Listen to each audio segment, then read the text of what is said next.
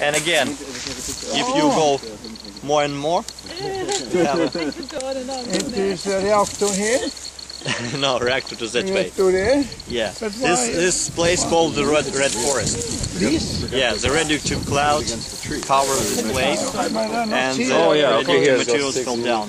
But I not see where is the forest now. Uh, the forest were buried. Buried. It was here. Yeah, it was here. Right across the road from the Pripyat city sign.